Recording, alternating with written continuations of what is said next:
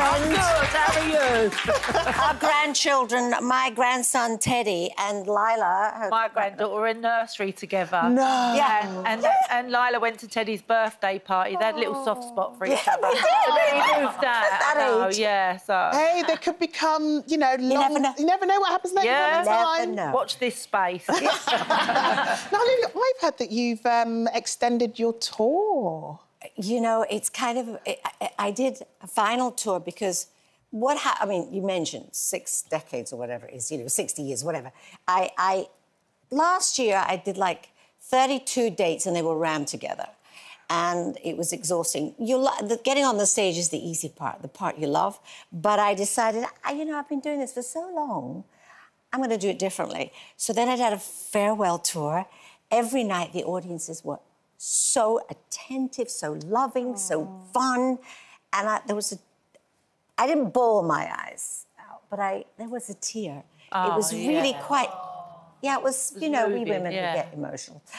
It, it was. It's been a long time. It's been my life. So um, afterwards, because of social media, you know who couldn't get there, couldn't get tickets. So upset we didn't. So the promoters were like pushing and pushing.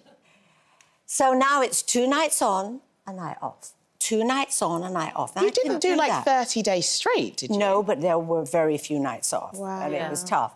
But uh, you think I was no, I know what I was doing at this age. But anyway, I got caught up in it. So I thought doing it differently. And then when they came up with, you know, can we do a few more dates? And this is how we do it. All different places. How can I say no? So I've just No. got a few gigs coming up in November. And and Glastonbury. I've got Glastonbury soon. Yeah, that's. yeah. And Lulu, you have this thing where you, um, a vow of silence, where you don't talk between midnight and midday the I'm next on day. tour, yeah. yeah. Well, even if I have a gig to do, I mean, say I had a gig tonight and I've been rehearsing today and maybe doing, you know, going over stuff, uh, I would definitely go over because when you get older, as we know, you got to work harder to pump up the muscle. And, you know, the vocal cords are muscles. you got to work hard to pump them up. And then, you know, to be, a di- it's very disciplined. You have to be disciplined to have been around as long as I have. It's not just you're not winging it, you know.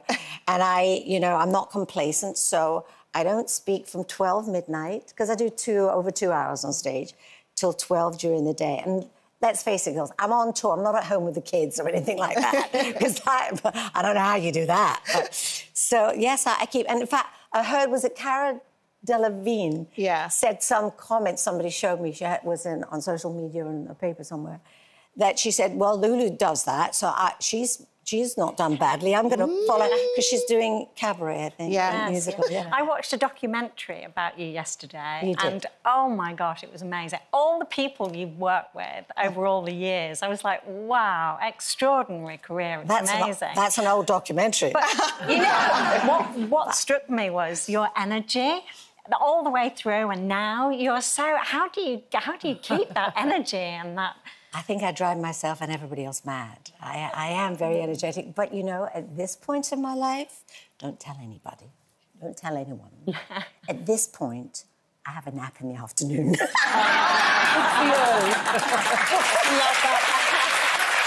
Lulu, who doesn't love a siesta? Yeah. oh, 20, 20 minutes, and I'm like, oh, But it yeah. feels like you have a zest for life. When I, was watching you, Yeah, you've I do. You've got a spark. Yeah, I do. I'm lucky.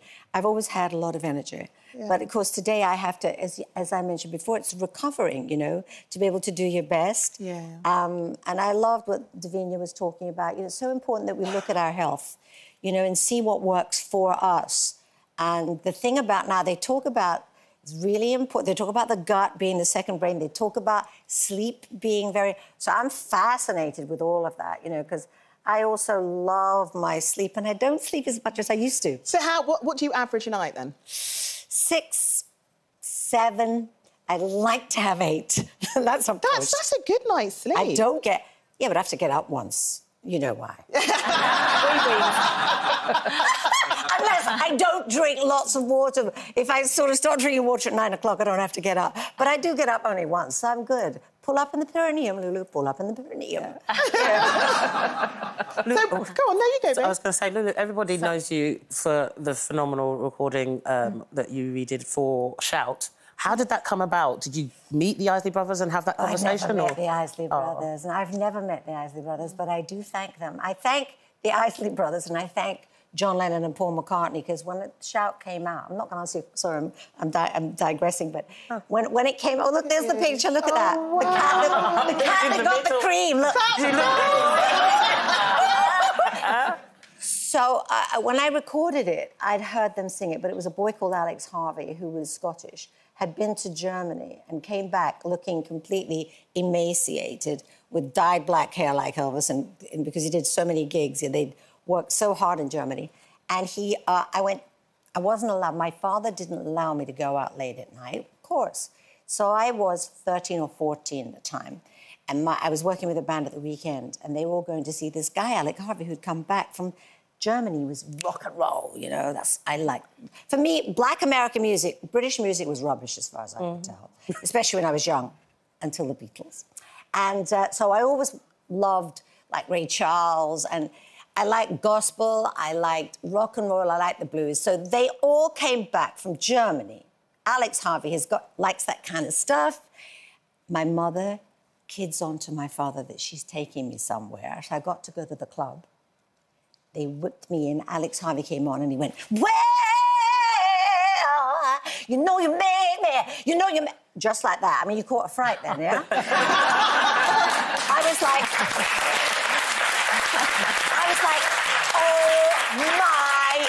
what's that song? I want that song. Wow. And I started to sing that song. Fabulous. And so the, the, they, um, I put it out as my first single, and then the Beatles, John and Paul, that picture, were talking to Cathy McGowan, and, and she said, "So, boys, you know, I suppose there's been a lot of good records come out this week. Any favourites?" And they both said, "Lulu Shout." Oh, wow. Now, I was a teenager, the hormones were racing, and I didn't really care for British music because it seemed we always copied the black American soulful and the rock and roll Yeah. and the country, you know? So that was my thing.